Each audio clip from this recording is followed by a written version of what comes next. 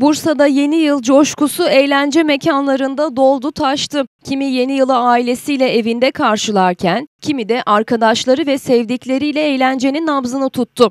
8 yıl aradan sonra yeniden sahnelere dönüş yapan ünlü şarkıcı Petek Dinçöz, yeni yılı Bursa'da karşılayan isimlerden biri oldu. Geçmişten günümüze seslendirdiği şarkılarla Bursalı sevenlerine unutulmaz bir gece yaşatan Dinçöz, yeni yılda Bursalı sevenleri için aşk, para ve huzur diledi. Aşk isteyenler aşk, para isteyenler para bulacak.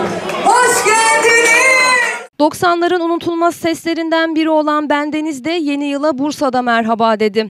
Sahnedeki enerjisiyle birlikte gece boyunca dinleyicilerini de coşturan Bendeniz, Türk müziğinin popüler şarkılarını da repertuarında yer verdi. Dansları ve eğlenceli tavırlarıyla birlikte dikkat çeken Bendeniz, Bursalılara keyif dolu bir gece yaşattı.